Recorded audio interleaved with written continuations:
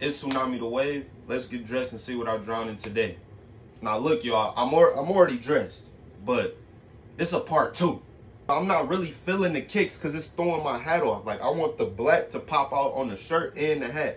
So you know what I got to do? Change the kicks. Y'all, I was going to choose of the Rickies or the Vans, but I want to be simple and chill today. So I wasn't going to do the Rickies because, you know, it got a little yellow in it. So we going to throw the Rickies over there. So we going to do the Vans today, y'all. So boom, we got the Vans on. And y'all, I'm on my skateboard shit today. You feel me? Like, I feel like I might buy a skateboard today. But hey, y'all fuck with the fit? Well, I don't give a fuck because I was going to wear it anyway.